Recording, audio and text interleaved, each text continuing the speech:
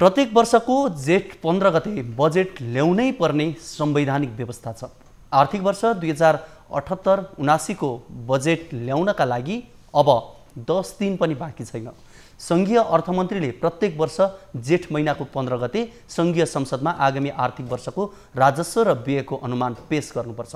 तर संसदीय प्रक्रिया नथाल्दा बजेट कसरी आउँछ भन्नेमा आम चासो छ। अर्थका जानकारहरू सरकारले कानुन सम्बद्ध बजेट ल्याउने समय घर्किसकेको टिप्पणी गर्छन्। एक रिपोर्ट।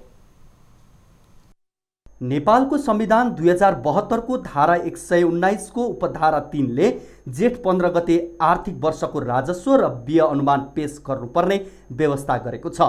सरकारकै आर्थिक कार्यविधि तथा वित्तीय उत्तरदायित्व ऐन दफा एघारले बजेट पेश गर्नुभन्दा कम्तीमा पन्ध्र दिन अगाडि नै बजेट तथा कार्यक्रमको सिद्धान्त र आयोजना वा कार्यक्रमको प्राथमिकताको विवरण सङ्घीय संसदमा प्रस्तुत गर्नुपर्ने व्यवस्था गरेको छ। जस अनुसार जेठ पन्ध्रमा बजेट आउने भएपछि सो ऐनको व्यवस्था अनुसार वैशाख मसान्तमै संसद अधिवेशन आह्वान भइसक्नुपर्ने थियो तर त्यो मिति घर्किसकेको छ। सरकारको नीति र कार्यक्रम प्रस्तुत गर्ने त्यसमा छलफल गर्ने र धन्यवाद प्रस्ताव पेश गर्ने काम छिटो छिटो गरे पनि पाँच छ दिन लाग्ने अर्थविदहरू बताउँछन्।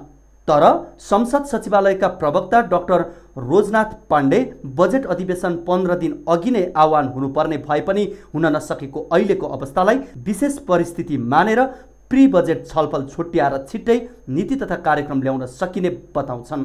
प्रतिकूल अवस्थालाई मध्यनजर गरेर छुट्याएर अलिकति छोटो समयमा पुरा गर्ने पनि हुनसक्छ त्यो चाहिँ दलीय सहमतिको आधारमा कार्यव्यवस्था परामर्श समितिले सल्लाह गरेर त्यही अनुसार सुझाव दिएपछि अनि सभामुखज्यूले चाहिँ त्यसको कार्यतालिकाहरू निर्धारण गर्नुहुन्छ। नयाँ योजना कार्यक्रम प्रस्ताव नगरिकन गरिएका कामलाई निरन्तरता दिने गरी काम चलाउ सरकारले पेस गर्ने बजेटलाई अन्तरिम बजेट भनेर बुझिन्छ। यसरी आउने बजेट पुरै वर्षका लागि वा अर्को निर्वाचित सरकार बनेर पूर्ण बजेट आउने समयसम्मका लागि हुन सक्छ।